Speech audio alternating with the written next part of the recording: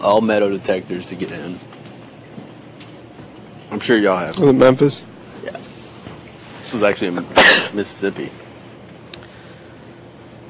It was a oh my it was ridiculous. If you can just imagine like most games that like have that outside, like they're at least calm inside. No man, small gym, like small small gym. Everybody's sitting on top of each other. Pretty much a, you know what I Mhm. mean, and uh.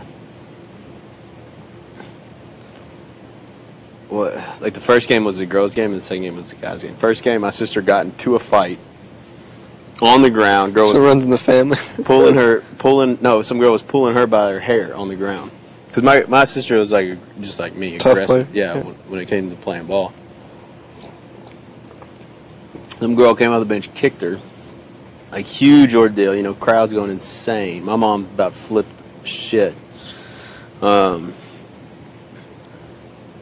so that calmed down finally. I think we won or something. And then the guys' game started. Dude. Same thing, like third quarter, all out.